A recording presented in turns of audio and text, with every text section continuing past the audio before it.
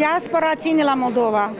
Indiferent de timpurile grele care trec pe aici, sângele apă nu se face. De aceea, venind aici, vrem să arătăm voința noastră și deschiderea spre lucrurile bune pe care vrem noi să le aducem în Republica Moldova cu experiența noastră din statele din care venim. Și de aceea am venit aici, sperăm să această întâlnire să aibă un efect pozitiv ca să știe și cetățenii Republicii Moldova că cei plecați nu sunt plecați pentru totdeauna. Păi pentru noi nu așteptăm nimic. Eu vin din Canada. Noi în Canada avem de toate. Noi vrem să oferim, n-am venit să cerem. Nu, noi nu așteptăm uh, pentru noi nimic, dar așteptările noastre, bineînțeles, sunt legate de reforme, de drepturile omului aici, de promovarea eficientă a acordului de asociere cu Uniunea Europeană. Impresia generală, în fiecare an venim și se vede o degradare. Eu îmi cer scuze. Chiar ieri treceam într-o gradă unde se jucau copii și stau familii tinere, mamă, tată, copilul se joacă, masa plină cu bere. De ce se permite? De ce nu se amendează? De ce nu se scrie că nu se poate să servește băuturi alcoolice în prezența copiilor și în locuri publice?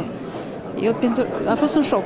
Dacă în 90, 91, când se făceau primii pași, să fim o țară, eu personal credeam că copiii mei or să ajungă și o să trăiască în altă țară, mult mai bine, și cu mult mai frumos, amenajat, etc. Au trecut acești ani, acum copiii mei probabil că peste câțiva ani vor deveni părinți și eu nu am văzut ceea ce visam în 91. Am plecat de mult timp și acum fac, ocup cu știință cu informatică la Universitatea de California, Los Angeles. Am plecat în anul 2008, am plecat să fac doctoratul și am făcut doctoratul și acum fac postdoctorat și pregătesc să, să fac carieră în... să continui să, să, să, să fac știință. Eu vin destul de des și adică știu cum, se, cum este aici. Adică se schimbă, dar se schimbă foarte încet.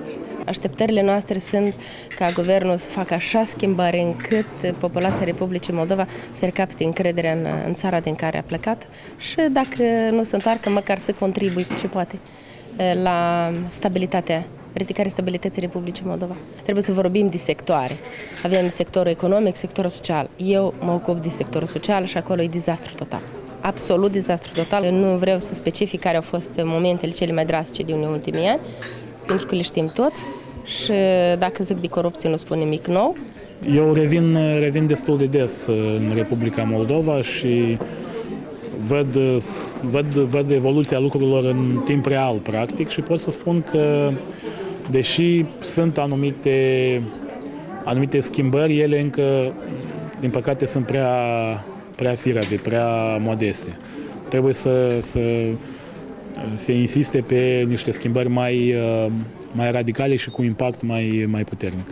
Cele mai dureroase ar fi lupta cu corupția, care trebuie relansată totalmente. Justiția trebuie să fie eliberată de sub influența politicului. Judecătorii și procurorii trebuie să Uh, să fie uh, conștienți de faptul că au o misiune de îndeplinit în slujba, uh, în slujba mm, poporului, în slujba nu a anumitor clanuri și a unor interese de clan, dar în slujba colectivității.